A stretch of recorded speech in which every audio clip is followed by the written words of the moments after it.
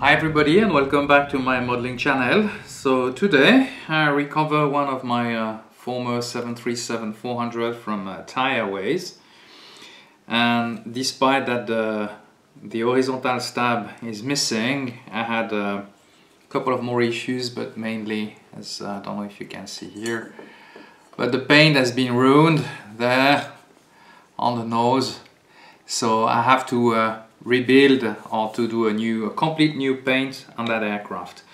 So instead of that, I decided that I'm gonna modify that 737-400 into a 737-500. So for these, I'm gonna do the, the livery of uh, and the summer flight. So I will do this nice uh, colorful livery uh, I'm using two 6 decals, but first I will have to uh, remove basically a couple of uh, windows and I'll have to trunk our cockpit, our uh, fuselage. So for this, I have to remove about 38 millimeters uh, on the total length. And basically uh, the main things, the main guideline I'm gonna use is four windows. Then I'll do the math, take the measurement and see what's missing from the front and then trim it. And I will keep the emergency exit, the last one, which is required for the 500. So uh, beside that, of course, I'll have to re-clean, rebuild and do a little bit of mod. But I'm gonna enjoy uh, that a little bit. So enough of talking and let's start building. So I will start this build by uh, cutting the fuselage initially. So uh, for this, what I did is I put some masking tape and to mark basically where I have to uh, sew the fuselage. So I took the proper dimension uh, for the, the aft part and uh, then what I did is uh, I managed to get and uh, the, the, thing is the difficulty was to get pretty uh, pretty much a straight line and after that we were able to bring them together because the surface is sometimes irregular so that's why it, it can be a little bit challenging.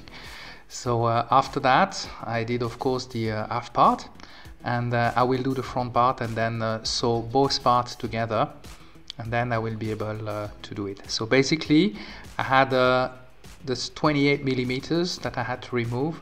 I took the part, did the math and then removed the front part and then I was able to get, I think that was 38 centimeters, 38 millimeters. So basically, so that was 18 on the back more or less plus 20 up front. And uh, I have to say that it worked uh, pretty well. For that after that I use uh, a razor blade saw uh, with a little mount. But uh, I have to say that uh, getting through that old plastic and my razor blade saw was getting a little bit old so it became a little bit challenging. So once you finish that of course you have to remove the excess of plastic on both parts of the fuselage. And after that of course we're going to be able to uh, glue them together straight away.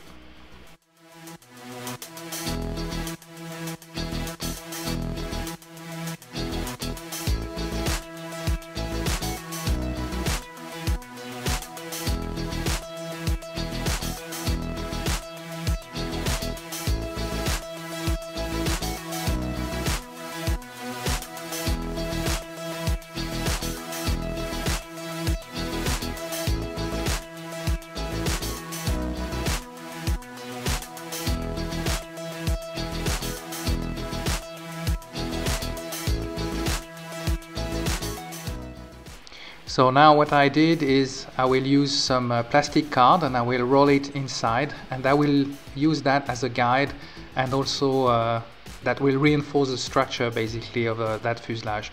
So uh, with this I will be able to get uh, the fuselage at the proper angle as well and uh, that will ease the way back.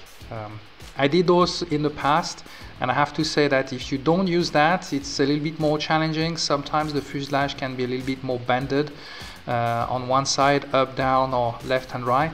So uh, using this type of plastic card will help you uh, when you do a mod on a kit. So of course, while it dried out, I had to add some putty to cover uh, those uh, those lines of course and those cutting lines because they are pretty big and I have to say that on the bottom uh, aft fuselage you had a gap as well that uh, you will have to, uh, to, to work a little bit to get a better junction. So of course after the putty dried out I start to uh, do the sanding work and in the meantime removing all the paint as well, uh, the previous paint and the previous livery. But that will come time to time as there will be a lot of uh, filling and sanding and filling and sanding. I have to say that uh, this time I use different type of uh, sandpaper. I use also some uh, abrasive sponge and um, new type of material. This green uh, abrasive uh, sponge was very very useful I have to say because it's it's a higher, it's more abrasive surface, so it's about a 200 and then you can go down to 400 and uh, so I was able to do that and I realized that at the end there was still um, I needed to put more putty, a second layer. Actually, I had to do up to four layers of putty uh, on that build to be able to really have a smooth uh, surface on the fuselage. And even after the fourth one, when I finish the last coat of paint, sometimes depending on how the sun is coming, you can see a little bit of a difference. But generally speaking, I have to say that the work was done correctly and with the decal you can't see much. So uh, after that, I put the third layer and this time I use a Tamiya white putty to be able to see where uh, where the gap is coming back and then of course by changing color sometimes you have that effect uh, that you can see. And uh, after that we decided to, I decided to uh, put back the uh, horizontal stabilizer. Keep working on removing the former paint and the former colors of that uh, Thai 737 400 and then of course I start to work with a very fine very fine sandpaper.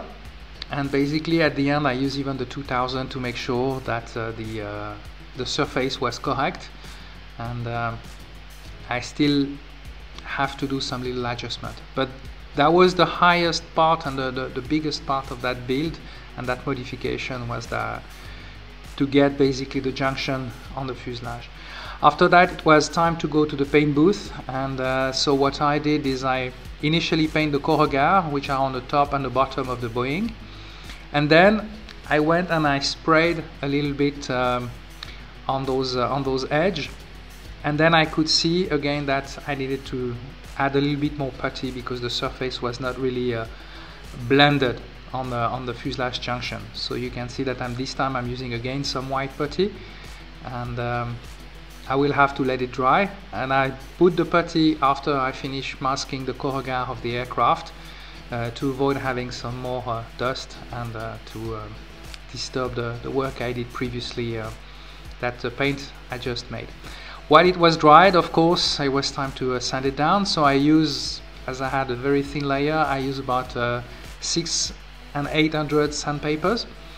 And it took a little bit of time but generally speaking I can say that I finally had what the, the, the type of surface I was looking for.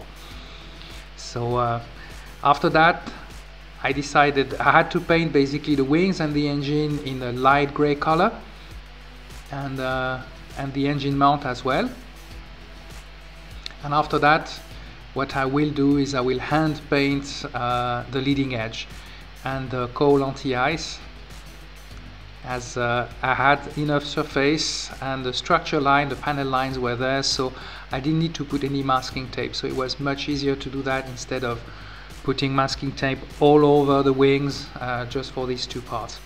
So that saved me quite a lot of time and uh, once we finish doing these we're gonna put uh, some masking tape all over the fuselage to be able to cover all that gray color and have an overall white color on the fuselage and uh, and the tail.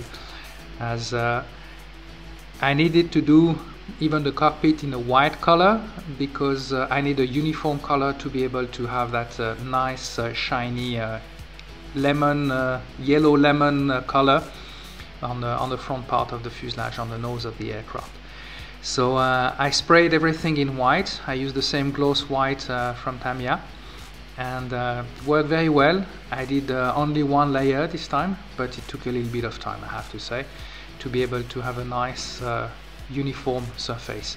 After that, uh, I was using the decals to really position the, the masking tape correctly.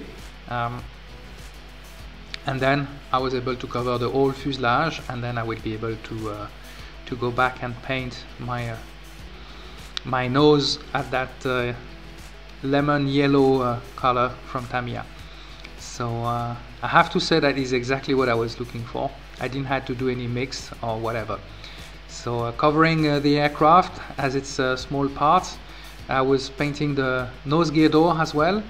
And then the just the nose of the aircraft in that uh, nice uh, yellow color.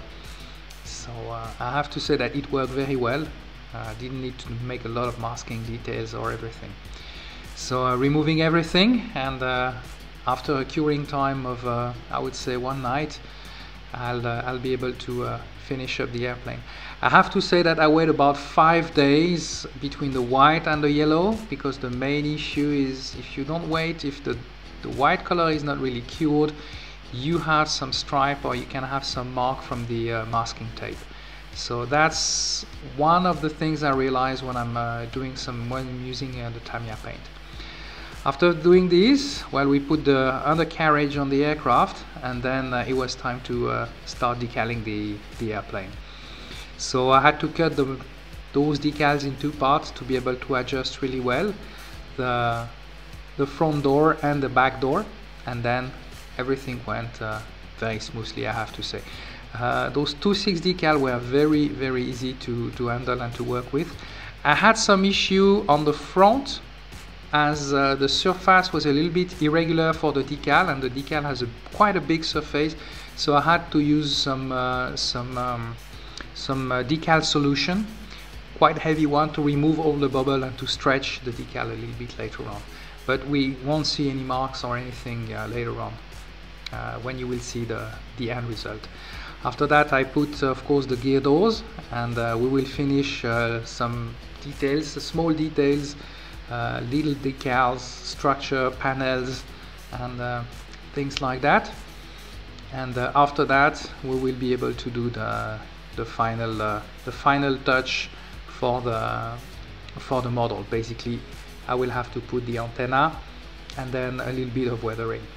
So I will put the antenna, I will paint the beacon uh, red and uh, after these uh, little parts and those little details it's going to be time to, uh, to do some weathering. So for this I will use that standard technique that I'm doing. I'm using some pastel mixed with water and a drop of uh, cleaning product or hand soap uh, and then I realized that there was not enough uh, not enough of that pastel and then mix it again together.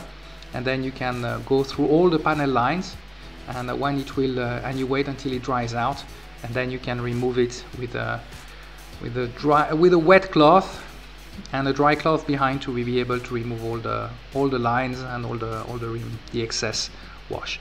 And I think I'm using always that technique because it's very forgiving and you don't leave any any marks. And if you remove too much you can still add a little bit further on. So uh, it's a very easy uh, technique that I would recommend to uh, any beginner. And honestly uh, then uh, you'll have a, a, nice result toward the end. And uh, we're coming close to the end now. And this is the end result of that 737-500 from Braathens so I hope you enjoy that uh, modification kit with me. If you did so, please give me a thumbs up, subscribe to my YouTube channel. You can also share those uh, videos and uh, I will see you soon for another build review. Thank you for watching.